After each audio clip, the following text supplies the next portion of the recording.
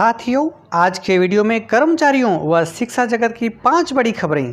पूरी व latest information के लिए इस वीडियो में आप अंत तक बने रहें। छत्तीसगढ़ शिक्षा कर्मियों का हुआ शिक्षा विभाग में संविलियन। बड़ी खबर, सीएम शिवराज सिंह की अनुपस्थिति में ये चार मंत्री चलाएँगे सरकार। एरियर्स डीए महँगाई भत्ते के चार हज़ार करोड़ बाकी हैं कर्मचारियों की। चुनावी वादा, अतिथि शिक्षकों को पहली कैबिनेट में ही नियमित कर देंगे, ये कहा पूर्व सीएम कमलनाथ ने। प्रकार की लेटेस्ट इन्फॉर्मेशन देखना पसंद करते हैं तो इस चैनल को सब्सक्राइब कीजिए और पास वाली बेल पर प्रेस कीजिए, जिससे जब भी वीडियो अपलोड किया जाएगा, सबसे पहले आपको प्राप्त होगा। नवीन शिक्षक संवर्ग की सबसे बड़ी मांग, उन्नीस वाला शिक्षा विभाग, ये केवल मांग बनकर ही रह गया, क्योंकि मध्य प्रदेश से अलग हुआ छत्तीसगढ़ में सभी शिक्षा कर्मियों को शिक्षा विभाग में संविलियन कर दिया है। तो दोस्तों, बिना समय गंवाए आदेश देख लेते हैं। के मोबाइल के स्क्रीन पर जो आदेश दिखाया जा रहा है, छत्तीसगढ़ शासन स्कूली शिक्षा विभाग मंत्रालय और नया रायपुर दिनांक तेईस सात दो का आदेश है ये। ये रखा क्रमांक आपके सामने, इस विभाग के समसंख्यक आदेश दिनांक 12 सात 2018 को संशोधित करते हुए राज्य शासन निम्नलिखित आदेश जारी करता है। वर्ष या उससे अधिक की सेवावधि पूर्ण करने वाले शेष बचे पंचायत नगरीय निकाय संवर्ग के सोलह हज़ार दो सौ शिक्षकों का संविलियन एक नवंबर 2020 से स्कूली शिक्षा विभाग में किया जाता है। अगला बिंदु, जिन पंचायत नगरीय निकाय शिक्षकों द्वारा एक जुलाई 2020 को आठ वर्ष पूर्ण कर लिए गए। उनका संविलियन भी स्कूली शिक्षा विभाग में एक नवंबर 2020 से किया जाता है। संविलियन की सेवा शर्तें विभाग द्वारा जारी किए गए आदेश क्रमांक आपके सामने दे रखा है। दिनांक तीस छः दो में उल्लेख अनुसार ही रहेगी। शिक्षक, पंचायत, नगरीय निकाय संवर्ग के जारी नियुक्त आदेश के विरुद्ध यदि किसी न्यायालय में प्रकरण विचाराधीन है तो उनका संविलियन न्यायालय निर्णय के अधीन रहेगा। यह आदेश निकाला है छत्तीसगढ़ के राज्यपाल के नाम से। अगली बड़ी खबर, एरियर्स, डीए और महँगाई भत्ते के चार हज़ार करोड़ बाकी कर्मचारियों को, इनमें से एरियर्स की राशि है एक हज़ार पाँच सौ करोड़ महँगाई भत्ता डीए की राशि है एक हज़ार पाँच सौ करोड़ और इंक्रीमेंट जो कि जुलाई में लगना है एक हज़ार करोड़। इस प्रकार कुल चार हज़ार करोड़ रुपए की राशि है कर्मचारियों की।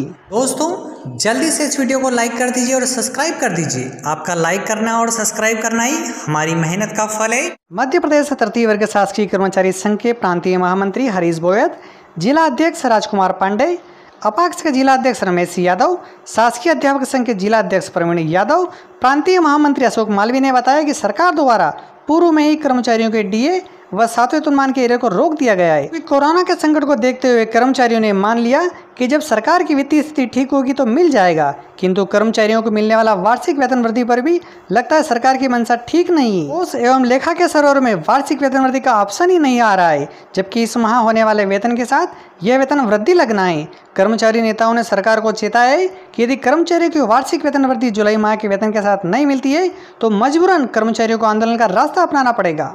चुनावी वादा अतिथि शिक्षकों को पहली कैबिनेट में नियमित कर देंगे। इस खबर भोपाल से कांग्रेस पार्टी के प्रदेश अध्यक्ष एवं उपचुनाव में कांग्रेस का चेहरा श्री कमलनाथ एक बार फिर चुनावी वादे करने लगे।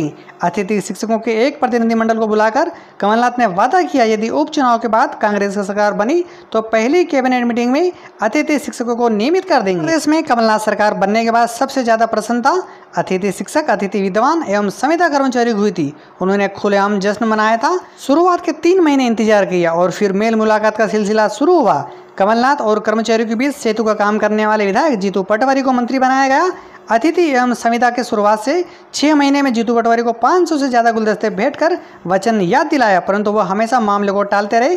तीन महीने से ज़्यादा प्रदर्शन हुआ, महिलाओं ने मुंडन कराया, लेकिन कांग्रेस की तरफ़ से कोई प्रतिक्रिया नहीं आई। उल्टा दो बातें स्पष्ट कर दी गई। नंबर एक, वचन पत्र में नियमितीकरण का वादा नहीं किया था, बल्कि नियमितीकरण की नीति बनाने का वादा किया था। नंबर दो, वचन पत्र पाँच साल के लिए होता है। आई में अटके कर्मचारियों के वेतन व इंक्रीमेंट, विशेष खबर भोपाल से। मध्य प्रदेश कर्मचारी कांग्रेस सचिव शोएब सिद्दीकी ने मुख्यमंत्री श्री शिवराज सिंह चौहान के नाम ज्ञापन प्रसिद्ध कर आईएफएमआईएस की तमाम तकनीकी समस्या को दूर करवाने की मांग की। श्री सिद्दीकी ने बताया कि ईद और रक्षाबंधन जैसे त्यौहार के बावजूद कर्मचारियों का वेतन व इंक्रीमेंट आईएफएमएस में अटक गया है एवं वित्त विभाग के अधिकारी प्रॉब्लम सॉल्व नहीं कर रहे हैं। सोएब सिद्दीकी, सचिव मध्य प्रदेश कर्मचारी कांग्रेस ने बताया कि मध्य प्रदेश के कर्मचारियों के वेतन स्वत्व का भुगतान वित्त विभाग आईएफएमएस के माध्यम से करता है, जो वित्त विभाग के वरिष्ठ अधिकारियों की कृपा पर संचालित थी एवं संधारित थी जब अधिकारी चाहते हैं, तब उनकी कृपा से कर्मचारियों के लंबित देय स्वतों का भुगतान हो पाता है। की स्थिति में तकनीकी खराबी बताकर प्राय लिंक ब्लॉक, एसडी लॉक कर दी जाती है। परिणाम स्वरूप पेंशन, वेतन, एरियर्स आदि स्रोतों का भुगतान प्रक्रिया रुक जाती है और स्थानीय स्तर के डीडीओ को कर्मचारियों के असंतोष तथा मध्य प्रदेश के मान्यता गैर मान्यता प्राप्त, अमान्य कर्मचारी संगठनों के विरोध एवं आंदोलन का सामना करना पड़ रहा है, जिसके कारण सरकार की छवि धूमिल होती है और अन्य विकास के कार्य भी प्रभावित होते हैं। मध्य प्रदेश शासन द्वारा अनुकंपा नियुक्ति के संबंध में नए दिशा निर्देश प्रथम वर्ष सत्तर प्रतिशत, द्वितीय वर्ष अस्सी प्रतिशत और तृतीय वर्ष नब्बे प्रतिशत राशि स्टाइपेड के रूप में देय होगी। इस बाबत आयुक्त तो लेखा कोष द्वारा आई सॉफ्टवेयर में कोई अपडेट नहीं कर रखा है, जिसके कारण जनवरी माह से अनुकंपा नियुक्ति कर्मचारियों को वेतन प्राप्त नहीं हुआ है, जिसके कारण उनकी आर्थिक स्थिति खराब हो गई। आखिरी बड़ी खबर जो कि भोपाल से लगी है, कोरोना पॉजिटिव पाए जाने के बाद सीएम शिवराज सिंह चौहान आइसोलेशन में चले गई। गृह मंत्री डॉक्टर नरोत्तम मिश्रा ने बताया कि शिवराज सिंह चौहान को चिराई अस्पताल में भर्ती किया जा रहा है। आने वाले चौदह दिनों तक वे किसी भी फ़ाइल पर हस्ताक्षर नहीं कर पाएँगे। ऐसी स्थिति में मध्य प्रदेश सरकार के संचालन के लिए उन्होंने अपने स्थान पर चार मंत्रियों को नियुक्त किया है। चार मंत्री कौन है आगे बताए जाएँगे। सीएम शिवराज सिंह चौहान ने अपने पॉजिटिव होने की जानकारी देते हुए कहा कि मुझे कोविड नाइन्टीन के लक्षण आ रहे थे। टेस्ट के बाद मेरी रिपोर्ट पॉजिटिव आई। मेरे सभी साथियों से अपील है कि जो मेरे संपर्क में आए, वह अपना कोरोना टेस्ट करवा लें। मेरे निकट संपर्क वाले लोग क्वारंटीन में चले जाएँ। उन्होंने कहा है कि कोविड नाइन्टीन का समय पर इलाज हो जाता है तो बिल्कुल ठीक हो जाता है। मैं 25 मार्च से प्रत्येक शाम को कोरोना संक्रमण की स्थिति की समीक्षा बैठक करता रहा हूँ। मैं यथासंभव अब वीडियो कॉन्फ्रेंसिंग से कोरोना की समीक्षा करने का प्रयास करूँगा।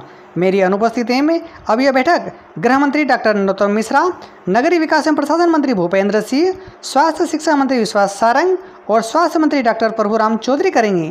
मैं स्वयं भी इलाज के दौरान प्रदेश में कोविड 19 नियंत्रण के हर संभव प्रयास करता रहूँ। दोस्तों, वीडियो के इस टॉपिक पर अपने विचार व्यक्त करना ना भूलें। जाते जाते इस वीडियो को लाइक कीजिए और इस चैनल को सब्सक्राइब कीजिए व पास वाले बेल पर प्रेस कीजिए, जिससे जब भी वीडियो अपलोड किया जाएगा, सबसे पहले आपको प्राप्त होगा। इस चैनल के अगर अदर वीडियो देखना चाहते हैं तो वो भी आपके सामने चल रहे हैं। उनको देखिए और अधिक से अधिक शेयर कीजिए। Thank you